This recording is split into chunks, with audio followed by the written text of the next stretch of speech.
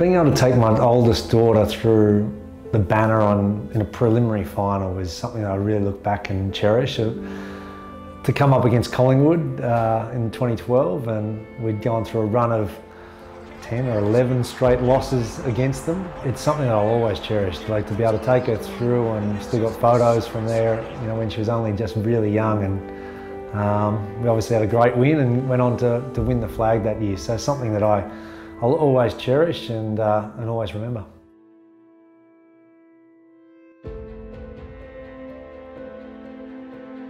We were in a real transformation sort of period. We, there was a lot of conjecture around, um, you know, a new coach, and then 18 of the pundits had tipped us to finish Bob Wooden Spooners, and there we found ourselves in a Uh, a qualifying final over in Adelaide Oval and we went over actually with a ability to say it doesn't matter who's out there, we're going to you know, win this game by being a, a, strong collective group and I think that's what stands up in finals. I think we were able to execute, we were able to take the crowd out of the game. I can still remember the deathly silence when we'd kick a goal but 18 guys on the field just getting around each other and and sure enough, it was goes down as one of the, the great memories for me, as, and, and certainly um, uh, it put us on the right track.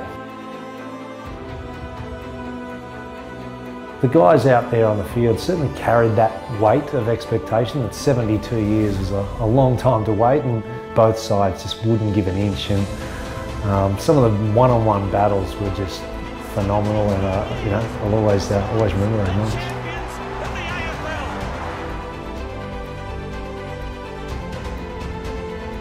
A really seesawing affair and then uh, to have the likes of Nick Malceski kick that final goal and just some huge moments along the way. Dan Hannebery, um, you know, taking a big mark, Marty Mattner's moment as well. I think it comes down to little cameos and finals footy, you don't have to be always the best player, but you have to play your um, play your role at the particular time and stand up and taking that opportunity when it comes. And I think that's certainly what finals footy presents. You don't get a chance to be on the, on the big stage too often. You've got to grab it with both hands. So living that moment.